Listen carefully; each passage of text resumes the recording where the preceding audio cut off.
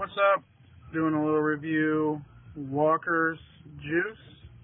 This is strawberry cheesecake. I also have banana custard and vanilla custard to review uh, at a later time.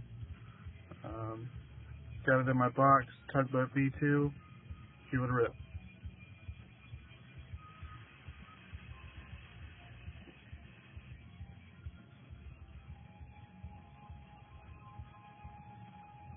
As you can see, produces nice vapor.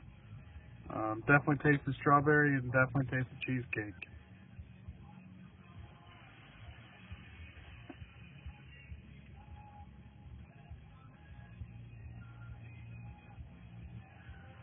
Not not much graham cracker crust as I've had with other cheesecake flavors.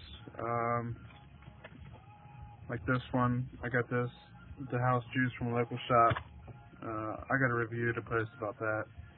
Um, as for this one, I'll be getting another bottle. It's pretty good. Uh, in one day, I've almost done uh, 15 mils.